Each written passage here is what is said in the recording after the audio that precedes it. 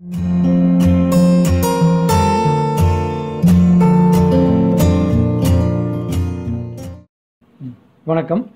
இந்த அறிவியல் ஆரோக்கியம் யூடியூப் சேனலில் புற்றுநோய் சம்பந்தமான ரெண்டாவது காணொளி இது. போன தடவை ஒரு ஜென்ரல் டிஸ்கஸ் பண்ணினோம். இப்போ இந்த வாரம் வந்து மார்பக புற்றுநோய் பற்றி நம்ம டிஸ்கஸ் பண்ண போகிறோம் இன்ட்ரெஸ்டிங்காக ஒரு ஃபேக்ட் சொல்கிறேன் மார்பக புற்றுநோய்னா பெண்களுக்கு தான் வரும். ஆனால் பெண்களுக்கு மட்டும் கிடையாது. சில நேரம் ஆண்களுக்கும் வரலாம்.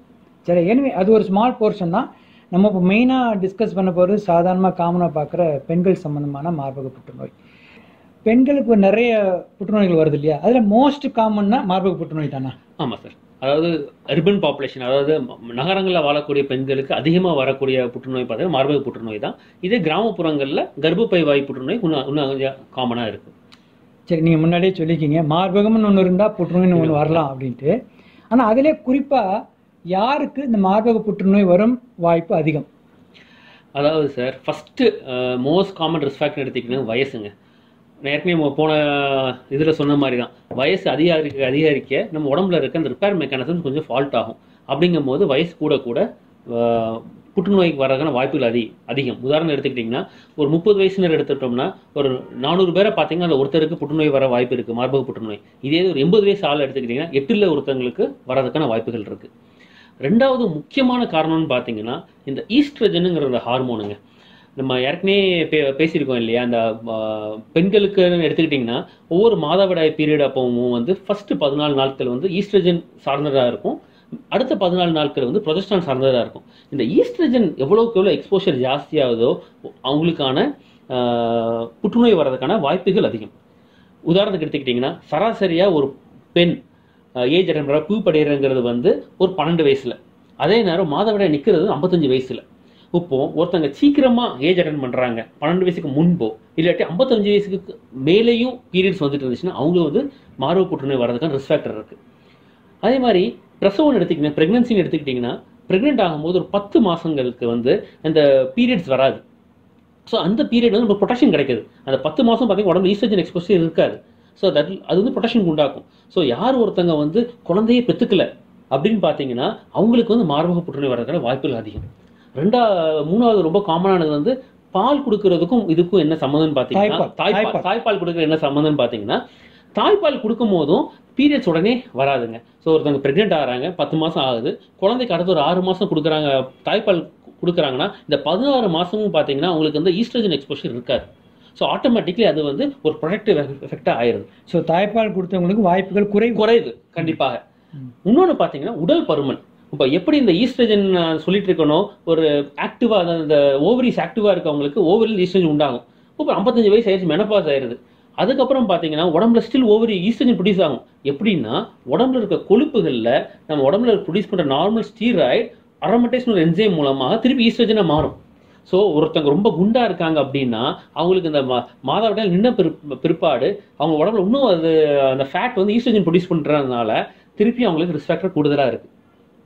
ஸோ இதெல்லாம் வந்து most common causes for breast cancer due to estrogen exposure அதுக்கப்புறம் பார்த்தீங்கன்னா ஒரு சிறிய சருமானம் வந்து ஹெரிடிட்ரி நிறைய பேர் நினச்சிக்கிறாங்க எங்கள் அப்பா அம்மா வீட்டில் எங்கள் வீட்டில் யாருக்கு பரம்பரையில் யாருக்கும் கேன்சர் இல்லை அதனால நமக்கு கேன்சரே வராது. தவறுங்க. ஏன்னா பரம்பரை வியாதினால அதாவது ஹெரிட்ரினால வரக்கூடிய கேன்சர்ஸ் வந்து வெறும் ஃபைவ் டு டென் பர்சன்ட் தான் பிரஸ்ட் கேன்சர் பொறுத்த வரைக்கும். மீதி கிட்டத்தட்ட நைன்டி பர்சன்ட் வந்து யாருக்குனாலும் வரக்கூடிய ஒரு பிரஸ்ட் கேன்சர் அடுத்தடுத்தது பார்த்தீங்கன்னா ஏற்கனவே வந்து சில ஒரு ஒரு பிரெஸ்ட்ல சின்ன கட்டி இருக்கு. அதுக்கு நீங்கள் டெஸ்ட் எடுத்திருக்கீங்க. அந்த கட்டி வந்து சாதாரண கட்டியா அல்லாமல் கொஞ்சம் ரிஸ்க் ஃபேக்டர்ஸ் இருக்கக்கூடிய இந்த ஹைப்பர் பிளேஸ் அந்த மாதிரி சில டேர்ம்ஸ்லாம் இருக்கு. அதை மாதிரி இருக்கக்கூடிய கட்டிகள் சொன்னாங்கன்னா நம்ம இன்னும் கொஞ்சம் கேர்ஃபுல்லாக நம்மளை பார்த்துக்கணும். இதெல்லாம் தாங்க காமன் ஃபேக்டர்ஸ் ஆஃப் பிரஸ்ட் புரிஞ்சிக்க வேண்டிய ஒண்ணே ஒன்று தான் மார்பகம்னு ஒன்று இருந்தால் புற்றுநோய் வர்றதுக்கான வாய்ப்புகள் இருக்கு. இதுக்கு வயது வரம்பு எதுவுமே கிடையாது. எல்லாரும் அதுக்கு என்ன செய்யணுங்கிறத புரிஞ்சுக்கிட்டோம்னா கண்டிப்பா இதுல இருந்து நம்மள பாதுகாத்துக்கலாம் சொல்லிக்கிறத விட ஈஸியா நம்ம ஏர்லியாக கண்டுபிடிச்சு இதுல இருந்து ஹண்ட்ரட் பர்சன்ட் கியூர் அடையலாம். அதாவது வராவிடாம தடுக்கிறதுன்னு ஒன்றும் கிடையாது. ஆனால் சீக்கிரம் கண்டுபிடிச்சிட்டோம்னா நம்ம அந்த பிரச்சனையிலேருந்து தப்பிச்சிடலாம். ஸோ இதுலேருந்து அந்த ஏர்லி டிடெக்ஷன் ஏன் சார் சீக்கிரமாக கண்டுபிடிக்கணும்? நான் கொஞ்சம் தள்ளியே வரேனே.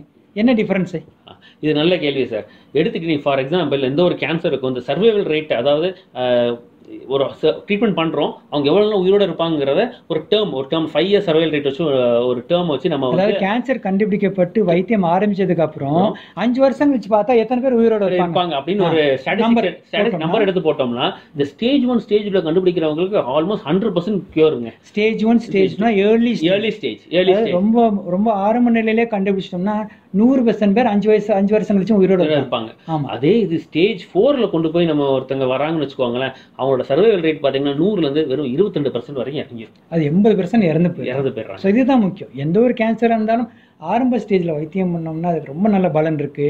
என்னதான் வைத்தியம் பண்ணாலும் லேட் ஸ்டேஜில் வந்தாங்கன்னா பலன் கிடையாது? சரியா? சரி இப்போ மார்பகம்னு எடுத்துக்கிட்டிங்கன்னா அது வந்து ஒவ்வொரு மாதமுமே மாறிக்கொண்டே இருக்கிற ஒரு திசு. சரியா? ஸோ நம்ம மாதவிடைக்கு முன்னாடி ஒரு மாற்றம் மாதவிடை பின்னாடி ஒரு மாற்றம் சின்ன வயசில் ஆக்டிவாக இருக்கப்போ ஒரு மாற்றம் கொஞ்சம் வயசான ஒரு மாற்றம்.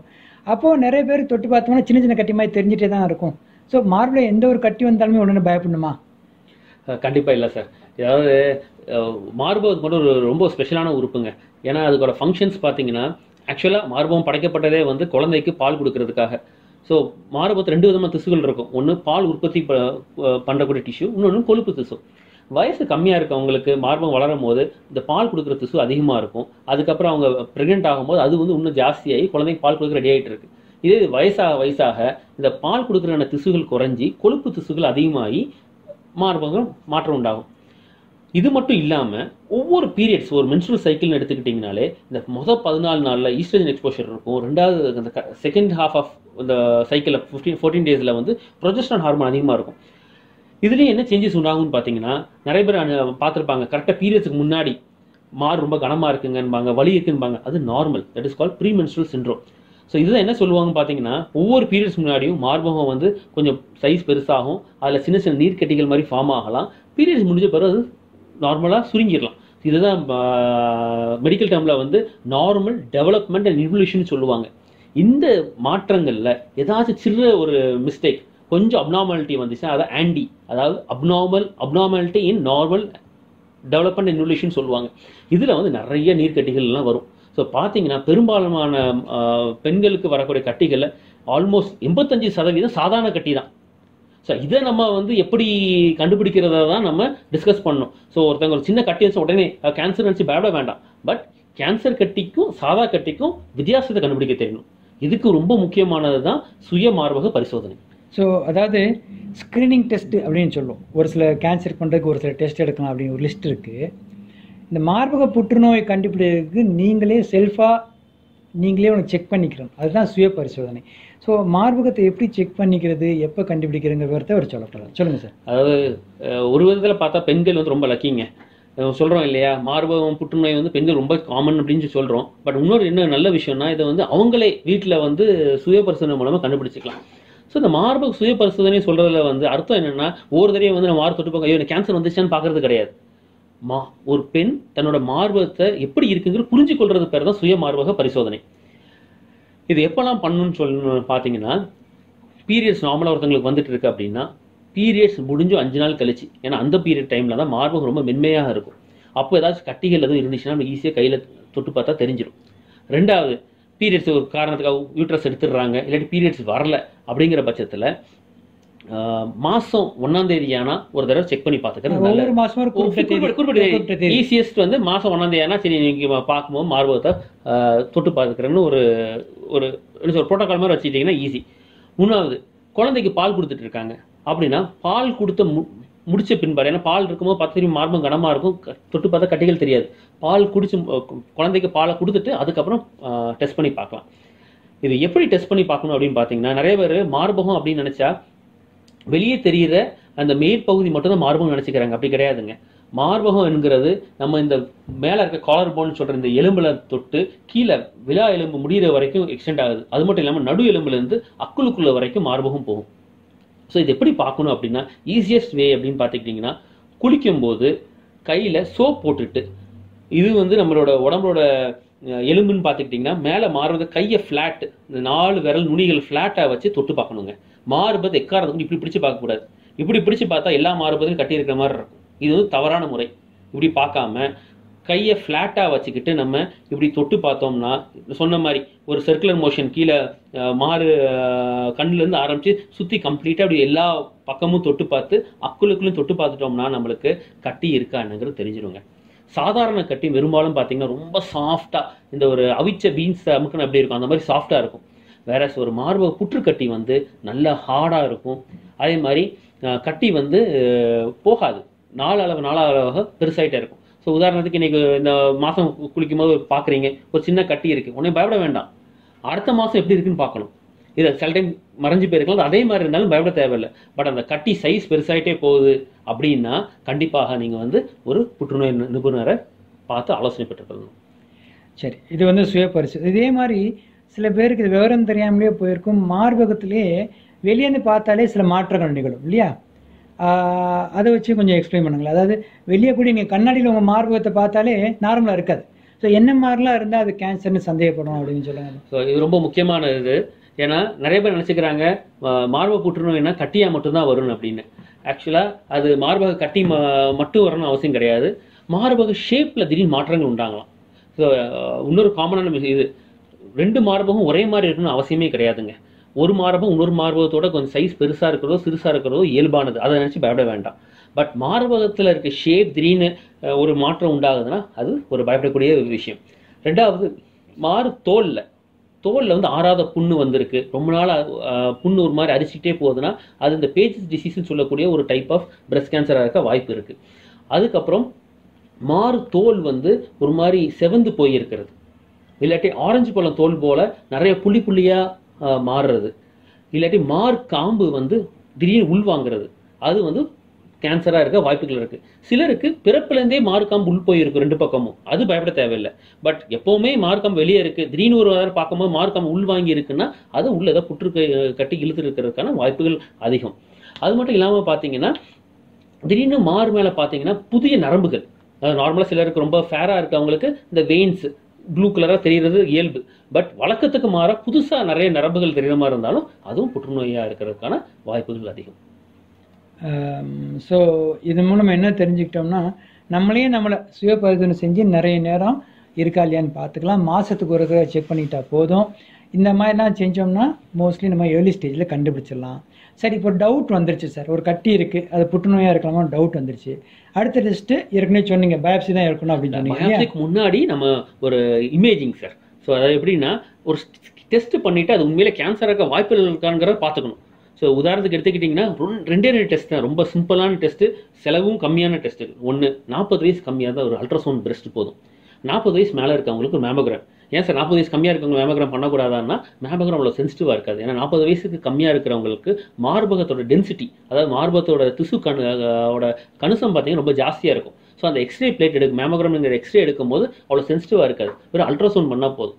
இல்லை ஒரே ஒரு ரொம்ப முக்கியமான விஷயம் என்னன்னா இந்த மாதிரி சந்தேகம் இருக்குன்னு கொஞ்சம் என்ன பண்ண நெட்டில் கூகுள் பண்ணி பார்த்துட்டு இருக்கையிலே பெஸ்ட் டெஸ்ட் எம்ஆர்ஐன்னு சொல்லி போய் எம்ஆர் எடுத்துட்டு வந்துருவாங்க. அந்த தவறு மட்டும் தப்பித்தவே செஞ்சிடாதீங்க. ஏன்னா எம்ஆர்ஐ ரொம்ப சென்சிட்டிவானது சின்ன நீர்க்கட்டியை கூட பிக்கப் பண்ணி காட்டும். அதில் ஒருவேளை சந்தேகப்படுற மாதிரி இருந்துச்சுன்னா எம்ஆர்ஐயால் மட்டும் கண்டுபிடிக்கப்பட்ட டெஸ்ட் ஒரு கட்டியை பயாப்சி பண்ணணும் எம்ஆர்ஐ கைடடாக பண்ணணும். அது இன்னைக்கு வரைக்கும் நம்ம ஊரில் வசதிகள் கிடையாது எங்கேயும். இந்தியாவிலே ஒரு சில சென்டர்ஸில் மட்டும்தான் இருக்குது பாரு நம்ம நிம்மதி துளசி சுற்றிட்டு இருப்போம். ஸோ தேவையில்லாத கட்டிகள் வந்து நம்ம வந்து கண்டுபிடிக்கணும் அவசியமே கிடையாது. பாடிக்கு ஓரமாக இருந்துட்டு போயிட்டோம். ஸோ நம்ம கையில் தொட்டுப்படுறோம் ஒரு சந்தேகப்படுற மாதிரி கட்டி இருந்துச்சுன்னா அடுத்து மரு மருத்துவரை பார்த்தீங்கன்னா அவங்க கிளினிக்கல் பெஸ்ட் எக்ஸாமினேஷன் வந்து நாங்கள் பரிசோதனை பண்ணி பார்ப்போம். ஓகே இந்த கட்டி சந்தேகப்படுற மாதிரி தான் இருக்குன்னா நெக்ஸ்ட் டெஸ்ட் either அல்ட்ராசவுண்டோ ஒரு மேமோகிராமோ பார்ப்போம். அதுக்கப்புறம் அந்த கட்டி சந்தேகப்படுற மாதிரி இருந்துச்சுன்னா அதுக்கப்புறம் இந்த அல்ட்ராசவுண்டோ மேமோகிராம் பண்ணுறோம் அது நார்மல் வந்துச்சுன்னா விட்டுலாமா விட்டுறலாம் சார் விட்டுலாம் விட்டுறலாம். அப்புறம் சும்மா அப்புறம் முன்னாடி கூப்பிட்டு காமிப்பீங்க. அப்புறம். ஃபாலோ வச்சுக்கோ அவ்வளவுதான். ஆமா அப்போ என்ன So, சொல்லுவோம்னா அதாவது இந்த ரெண்டுலயுமே வந்து ஓரளவு தெளிவா எக்ஸ்க்ளூட் பண்ணிடலாம். எக்ஸ்க்ளூட் பண்ணிடலாம் கரெக்ட் இது வந்து டெஸ்ட் ஆஃப் டயக்னோஸ்னு சொல்றத டெஸ்ட் ஆஃப் எக்ஸ்க்ளூஷன் ஸோ நம்ம பண்றோம். ஒரு சந்தேகப்படுற மாதிரி இருக்கு. அல்ட்ராசவுண்ட் பண்ணி பார்க்கறாங்க. சாதாரண ஃபைப்ரோடினோசிஸ் தான். அதாவது இது நம்ம ஏற்கனவே பேசினோலே ஆன்டிங்கிற மாதிரி. நம்ம உடம்புல இருக்க நார்மல் அப்படின்னா நம்ம ரீஅஷூரன்ஸ் கொடுத்து அனுபவம் பேசிட்டு இருக்கேன் இது உங்களுக்கு நார்மல் இது வியாதி இல்லை. ஸோ அடுத்த மாசம் பாருங்க இதே மாதிரி தான் வருத்தப்பட தேவையில்லை. பட் இது மட்டும் இல்லாம திருப்பி உங்களுக்கு வேற மாதிரி சிம்டம்ஸ் வந்துச்சுன்னா அப்போ வந்து நம்ம அடுத்த டெஸ்ட்டுகள் பண்றது. ஸோ அடுத்த டெஸ்ட்னா நெக்ஸ்ட் வந்து பயாப்சி சரி சார் இப்போ பயாப்சி பண்ணிட்டீங்க. பயாப்சியில் மார்பக புற்றுநோய் வந்துருச்சு. அப்படின்னா நீங்கள் கரெக்டாக பிளான் பண்ணிடுவீங்க. இல்லையா என்ன பண்ணணும் ஏது பண்ணணும்னு பிளான் பண்ணுவீங்க. இப்போ ஒரு சில பேருக்கு வந்து மார்பகத்தில் கட்டி இருக்கு. ஆனா வெளியில வந்து இந்த மாதிரி ஒரு சென்டருக்கு வராம வெளியே போய் எங்கேயாவது ஆப்ரேஷன் பண்றாங்களே கரெக்டா ஆ, இது நல்ல கேள்வி சார். அதாவது சாதாரண கட்டிக்கும் புற்றுக்கட்டிக்கும் பண்ணக்கூடிய ஆப்ரேஷன் டோட்டலி டிஃப்ரெண்ட்டுங்க சாதாரண கட்டினா கட்டியை மட்டும் எடுத்தால் போதும். வேற புற்று கட்டினா அந்த கட்டி மட்டும் எடுக்காமல் அது சுற்றி பரவக்கூடிய திசுக்களையும் சேர்த்து அனுப்பணும். ஒரு உதாரணத்துக்கு எப்படின்னா அது எப்படி நம்ம கன்ஃபார்ம் பண்ணணும் ஆப்ரேஷன் பண்ணும் போதே ஃப்ரோசன் செக்ஷன் ஒரு ஒரு இருக்கு. டெக்னிக் இருக்குங்க. ஸோ என்ன பண்ணுவோம்னா நம்ம எடுத்த கட்டியும் சுற்றி இருக்க மார்ஜின்ஸ் போதுமானதாங்கிறத அப்பவுமே மைக்ரோஸ்கோப்பில் பார்த்து உடனே சொல்லிடுவாங்க ஸோ நம்மளுக்கு எடுக்கும் போதே அஹ், இந்த கட்டியை முழுமையாக எடுத்திருக்கோமாங்கிறத நம்ம வந்து மைக்ரோஸ்கோப் மூலமாக கன்ஃபார்ம் பண்ணிக்கலாம். இது என்ன அட்வான்டேஜ்னா இதனால மார்பக புற்றுநோய்க்கு மார்பகத்தை ஃபுல்லாக எடுக்காமலேயே கட்டியை மட்டும் இந்த ஃப்ரோசன் செக்ஷன் மூலமாக வச்சு அந்த மார்ஜின்ஸோட எடுத்து குணப்படுத்த முடியும் மார்பகத்தை எடுக்காமலே நான் இன்னொரு தடவை சொல்லிடுறேன். என்னன்னு சொல்றாருன்னா ஒரு கட்டி இருக்குன்னு வைங்களேன் நம்ம தொட்டு பார்க்குறது கட்டி. ஆனா நம்ம கண்ணுக்கு தெரியாமலே செல்ஸ்கள் கொஞ்சம் பரவி இருக்கும். சில பேருக்கு சில பேருக்கு பரவி இருக்கிறது. ஆனா எல்லாரும் என்ன நினைச்சுக்குவாங்க? மார் மார்பை கட்டினா அந்த மார்பே எடுத்துருன்னு நினைக்கிறாங்களே அது உண்மை இல்லைங்கிறாரு அதாவது முதல்ல கட்டியை மட்டும் எடுக்க கட்டி சுத்தி இருக்க திசுக்களை எடுக்க. அந்த திசுக்களை ஃப்ரோஜன் செக்ஷன் அப்படிங்கிற ஒரு பரிசோதனைக்கு ஒரு அனுப்புறாரு. அது அஞ்சு நிமிஷம் அவங்க ரிப்போர்ட் தராங்க. சார் நீங்க எடுத்த திசுலெல்லாம் வந்து அந்த புற்றுநோய்க்கான அறிகுறி இல்லை அப்படின்னா அதோட வெளியில வந்துடலாம் இல்ல சப்போஸ் நீங்க எடுத்த திசுல மார்ஜின் அங்கே எங்கே புற்றுநோய் இருக்குன்னா அவர் அங்க இன்னும் கொஞ்சம் வெளியே எடுப்பார். இல்லை எடுப்பார். மறுபடியும் அதுக்கு அனுப்புவார். ஸோ அந்த மாதிரி தேவையான அளவு மட்டும் இல்லாம வேண்டிய அளவு எடுக்கிறது ஒரு பக்கம் அது விட்டு வராம இருக்கும் உதவியா இருக்கும். ஸோ அதனால இந்த மார்பகம் சம்பந்தமான புற்றுநோய் ஆப்ரேஷனுங்கிறது வந்து எடுத்தோம் போனோம் பண்ணிட்டு வந்த மாதிரி கிடையாது. இந்த மாதிரி கொஞ்சம் பிளான் பண்ணி பண்ண வேண்டிய ஒரு ஆப்ரேஷன் அப்படிங்கிறாரு. ஆஹ் சரி இப்போ ஆப்ரேஷன் பண்ணி கட்டி எடுத்தாச்சு இல்லை மார்பு எடுத்தாச்சு. அதோட முடிஞ்சிருச்சா? அடுத்து என்ன பண்ணணும்? இந்த மார்பக புற்றுநோயை பொறுத்த வரைக்குங்க இந்த ஒரு புற்றுநோயில் தான் ரொம்ப ரேராக சர்ஜரி மட்டும் தீர்வாக இருக்கும். அது ரொம்ப ரொம்ப ஏர்லி ஸ்டேஜ் பெரும்பாலான டைம் நம்ம அதில் கண்டுபிடிக்கணும் கஷ்டம். So majority almost ninety eight percent of cancers பார்த்தீங்கன்னா கண்டிப்பாக ஆப்ரேஷன் தேவைப்படும். அதுக்கப்புறம் கீமோதெரப்பி ரொம்ப முக்கியமான ரோல் ப்ளே பண்ணும். அதுக்கப்புறம் பார்த்தீங்கன்னா நம்ம இந்த மார்பகத்தில் ப்ரிசர்வ் பண்ணிலாம் பண்ணாலோ இல்லாட்டி சில இண்டிகேஷன்ஸுக்கு கண்டிப்பாக கதிர்வீச்சும் கொடுத்தாகணும். இந்த மூணு மட்டும் இல்லாமல் பிரஸ்ட் கேன்சரில் ஃபைனல் நம்ம அந்த கட்டி எடுக்கணும் இல்லையா? அதை டெஸ்ட்டுக்கு அனுப்பும்போது மூணு முக்கியமான ரிசெப்டார்ஸ் பார்ப்பாங்க. ஈஸ்ட்ரஜன் ரிசெப்டார் ப்ரொஜெஸ்ட்ரான் ரிசெப்டார் ஹெர்டூனியர் ரிசெப்டார் பார்ப்போம். இந்த மூணை பேஸ் பண்ணி இதில் வர ரிசல்ட்ஸை பொறுத்து மேற்கொண்டு சில ட்ரீட்மெண்ட்ஸ் தேவைப்படும். யாருக்கெல்லாம் ஈஸ்ட்ரஜன் ப்ரொஜெஸ்ட்ரான் ரிசெப்டார்ஸ் பாசிட்டிவாக இருக்கோ அவங்களுக்கு ஹார்மோனல் தெரப்பின்னு சொல்லிட்டு ஒரு ஃபைவ் டு செவன் இயர்ஸ் கொடுப்பாங்க. அதுக்கப்புறம் ஹெரிட்டு பாசிட்டிவ்னு இருக்கிற பேஷண்ட்ஸுக்கு வந்து பயாலஜிக்கல் தெரப்பின்னு சொல்லி ஒரு நியூ மாலிக்கல் இருக்குது அது தேவைப்பட்டுச்சுன்னா அதையும் கொடுத்துக்கலாம். ஸோ பிரஸ்ட் கேன்சர் ட்ரீட்மெண்ட் பார்த்தீங்கன்னா surgery chemotherapy radiation hormonal therapy biological therapy அஞ்சு விதமான தெரப்பி இருக்கு. சில சமயங்களில் பேஷண்ட் நம்மள வரும்போதே கொஞ்சம் முத்தின ஸ்டேஜில் வருவாங்க. ஸோ அந்த மாதிரி டைமில் என்ன பண்ணுவோம் எடுத்தோன்னே சர்ஜரி பண்ண மாட்டோம். அவங்களுக்கு ஃபர்ஸ்ட் கீமோதெரப்பி கொடுத்துட்டு கட்டியை சுருக்கிட்டு அதுக்கப்புறம் சர்ஜரி ரேடியேஷன் இதை மாதிரி வரும். ஸோ இதில் முக்கியமான விஷயம் என்னென்னா சார் சொன்ன மாதிரி ஃபஸ்ட் நம்ம ஒரு பேஷண்ட் வராங்க அவங்களுக்கு நம்ம ஒரு ஸ்கேன் பார்க்குறோம் பயாப்சி பண்ணுறோம் நெக்ஸ்ட் ஸ்டெப் வந்து என்ன ஸ்டேஜில் இருக்குன்னு கன்ஃபார்ம் பண்ணுறதுக்கு சில டெஸ்ட்டுகள் இருக்குது சில பேஷண்ட்ஸுக்கு வெறும் ஒரு செஸ்ட் எக்ஸ்ரே வைத்து அல்ட்ராசவுண்ட் அப்டமன் பண்ணால் போதும். சில பேஷண்ட்டுக்கு பெட் ஸ்கேன் வரைக்கும் போகும் அது ஹோல் பாடி ஸ்கேன் வரைக்கும் பண்ணி பார்ப்போம். பண்ணி பார்த்து என்ன ஸ்டேஜ்னு கன்ஃபார்ம் பண்ணிவிட்டு அந்த ஸ்டேஜுக்கு தகுந்த மாதிரி மாறும். ஸோ பிரஸ்ட் கேன்சர்னு எடுத்துக்கிட்டிங்கனாலே ஒவ்வொரு ஸ்டேஜுக்கும் வைத்தியங்கள் வேறு அதனோட அவுட்கம் வேறு. ஓகே இப்போ எல்லாருக்கும் தெரிஞ்ச ஒரு ஃபேக்ட் இந்த ஆஞ்சலினா ஜோலி அப்படின்னு ஒரு நடிகை இருக்கிறாங்க ஹாலிவுட் நடிகை. அவங்க வந்து அவங்க நோய் ஒன்றுமே வரல. வர்றதுக்கு முன்னாடியே தன்னுடைய இரு மார்பங்களையும் அறுவை சிகிச்சை பண்ணி எடுத்துக்கிட்டாங்க இல்லையா? அது ஒரு விதமாக பார்த்தா கொஞ்சம் ஃபூலிஷாக கூட சில பேர் ஃபீல் பண்ணுறாங்க இதை பற்றி சொல்லுங்கள் எதனால அதை செஞ்சாங்க? இது நல்லதா? சார் இது எப்படின்னா இது வந்து ஹெரிடிட்ரி ஸ்க்ரீனிங்னு சொல்லுவாங்க. அதாவது ஒரு பெற்று சொன்னோம் இல்லையா? சிலர் வந்து பேரண்ட்ஸுக்கு பிரஸ்ட் கேன்சர் நம்மளுக்கு கண்டிப்பா வருமானு ஜீன்ஸ். மூலமா இறங்குறது இறங்குமான்னு. அதை கண்டுபிடிக்கிறதுக்கு சும்மா ஒரு அம்மாவுக்கு பிரஸ்ட் கேன்சர் வந்தால் பொண்ணுக்கு பிரஸ்ட் கேன்சர் வரணும் கண்டிப்பாக அவசியமே கிடையாது.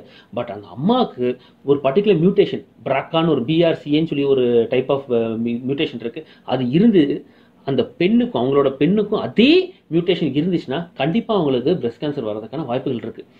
ஸோ அந்த மாதிரி டைமில் ரெண்டு விதமாக பண்ணலாங்க. ஒன்று அந்த அம்மாவுக்கு எந்த வயசில் பிரஸ்ட் கேன்சர் வந்துச்சோ அதுக்கு ஒரு அஞ்சு வருஷத்துக்கு முன்னாடிலேருந்து இவங்களை ஸ்க்ரீன் பண்ணிகிட்டே வரலாம். இது ஒரு விதமானது. ஆனால் சிலர் என்ன சொல்லுவாங்க இல்லை சார் எனக்கு வந்து அந்த மாதிரி ஸ்க்ரீனிங்லாம் பண்ணிட்டு அந்த டென்ஷன் எடுத்துக்க முடியாதுன்னு நினைக்கிறவங்களுக்கு வந்து prophylactic surgeries so Angelina Jolie என்ன பண்ணாங்கன்னா அவங்க இதில் பார்க்கும்போது அவங்க ஸ்ட்ராங் பிராக்கா ஜீன் மியூட்டேஷன் பாசிட்டிவாக இருந்துச்சு. ஸோ இவங்களுக்கு வந்து both breast cancer ovarian cancer ரெண்டும் வர்றதுக்கான வாய்ப்புகள் இருந்துச்சு. ஸோ அவங்க என்ன பண்ணிக்கிட்டாங்கன்னா பிரஸ்ட் கேன்சர் வராமல் தவிர்க்கிற தவிர்க்கிறதுக்காக ரெண்டு மார்பகங்களையும் ரிமூவ் பண்ணி பிளாஸ்டிக் சர்ஜரி செஞ்சு திருப்பியும் ரீகன்ஸ்ட்ரக்ஷன் பண்ணிக்கிட்டாங்க மார்பகத்தை. அதே மாதிரி ரெண்டு ஓவரீஸையுமே ஃபுல்லாக கம்ப்ளீட்டாக ரிமூவ் பண்ணிட்டு அவங்களுக்கு வேணுங்கிற ஹார்மோன்ஸை சப்ளிமெண்ட் பண்ணிக்கிட்டாங்க. So these are call prophylactic surgeries. இது இப்போ இது ரொம்ப நம்ம ஊர்ல வந்து இன்னும் அந்த ப்ரொஃபலாட்டிக் சர்ஜரிஸ்ங்கிற எடுத்துக்கிற ஒரு மனப்பக்குவம் அதாவது ஒரு கேன்சர் இல்லாத உறுப்பு எடுக்கிறதுங்கிற இன்னும் ஒரு பெரிய விஷயமா இருக்கு. பட் சில இதில் ரொம்ப காமனாக பண்றோம். உதாரணத்துக்கு குடல் கேன்சர் கோலரட்டல் கேன்சர்ஸில் இதே மாதிரி ஜெனடிக் மியூட்டேஷன்ஸ் இருக்குது இந்த பாலிபோசஸ் சின்ரோம் சொல்லுவோம். அதில் ஃபார் எக்ஸாம்பிள் ஒரு ஃபேமிலியில் ஒருத்தங்களுக்கு இருக்குது அவங்களோட சங்கதிகள் இருக்குது கண்டிப்பாக வரக்கூடிய வாய்ப்பு இருக்குன்னா குடலை சேஃபாகவே நம்ம ஃபர்ஸ்டே ரிமூவ் பண்ணிக்கலாம் அந்த பர்டிகுலர் ஏஜில் அது வந்து குடல் கேன்சர் வந்து ப்ரிவென்ட் பண்ணும். அதே மாதிரி ஸ்டமக் கேன்சர் நிறைய இதுக்கு இது மாதிரி ப்ரொஃபாட்டிக் சர்ஜரிஸ் இருக்குது. இந்த தகவல் வந்து பிரஸ்ட் கேன்சர் மட்டும் இல்லாமல் வேறுபட்ட கேன்சர்ஸ் சம்மந்தப்பட்டது அதாவது இந்த ஜெயின்ஸ் மூலமாக பரவுகிற கேன்சர்ஸ் அப்பா அம்மாக்கள் யார் பாதிக்கப்பட்டவங்களுக்கு இருந்த அதே ஜீன் பையங்களுக்கோ பொண்ணுங்களுக்கோ இருந்தால் அவங்களுக்கும் வரும் வாய்ப்பு மிக மிக அதிகம்ங்கிறனால நம்ம ரெகுலராக போய் செக்அப் பண்ணிட்டு அந்த மாதிரி வர வர்ற அறிகுறி தெரிஞ்சப்போ சர்ஜரி பண்ணிக்கிற ஒரு விதம். இல்லைன்னா முன்கூட்டியே அந்த ஏரியானால அந்த சர்ஜரி பண்ணி எடுக்கனால உயிருக்கு ஆபத்து இல்லைன்னா பண்ணிக்கிட்டா என்ன தப்பு. இப்போ மார்பை இழக்கிறனால என்ன பெருசா இழந்துரும்? ஒன்றும் கிடையாது. ஸோ அந்த மாதிரி.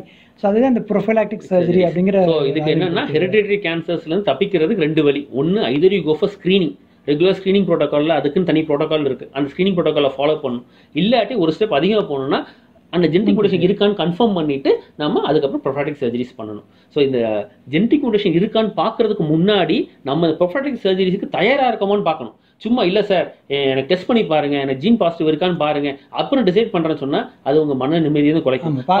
ஆமா, பார்க்காம. இருந்துக்கலாம். நம்ம பிராக்கா முட்டேஷன் பாஸ்ட்னு ஒரு இருபது வயசு பொண்ணுக்கு சொல்றேன். அப்புறம் அந்த பொண்ணுக்கு தெரிஞ்சு போயிரு பட்டியல் கடத்தில் கண்டிப்பா எனக்கு கேன்சர் வரப்போகுதுன்னு. நம்ம எந்த டைம்ல வரும் தெரியாது. பட் லைஃப் ஸ்பேன்ல கண்டிப்பா வரும். இப்போ ப்ரொஃபைட்டிக் சர்ஜரி பண்ண மாட்டேங்கிற இருக்கும்போது பயத்தை இன்க்ரீஸ் பண்ணுது. ஸோ ஒன்று இந்த ஜெனடிக் டெஸ்டிங் பண்ணுறதுக்கு முன்னாடி நம்ம அதுக்கான சர்ஜரிஸ் பண்ண தயாராக இருந்தோம்னா டெஸ்ட் பண்ணி பார்த்துக்கலாம். இல்லாட்டி நம்ம சம ஒரு சேஃபான ஸ்க்ரீனிங் ப்ரோட்டோக்காலில் போயிறது நல்லது. சரி ஓகே ஸோ இந்த வீடியோ மூலமாக வந்து அந்த மார்பக புற்றுநோய் பற்றி ஒரு ஒரு தெளிவான ஒரு ஐடியா கிடைச்சிருக்குன்னு நம்புகிறேன் இப்போது நான் வந்து எம்பிபிஎஸ் இன்டர்ன்ஷிப் அதாவது அந்த பயிற்சி டாக்டராக இருக்கப்போ என்னோடய சொந்தக்காரங்க ஒருத்தவங்களுக்கு இந்த பிரஸ்ட் கேன்சர் வந்தது. இருபத்தஞ்சி வருஷம் நாள் இன்றைக்கி அவங்க நல்லா தான் இருக்கிறாங்க. இப்போ நேற்று கூட என்னோடய ஓபியில் பார்த்தீங்கன்னா ஒரு ஒரு எழுபத்தி ஆறு வயசு அம்மாவுக்கு வந்து ஹார்ட் அட்டாக் வந்திருந்தாங்க. சரி செஞ்சு அனுப்பிச்சோம்.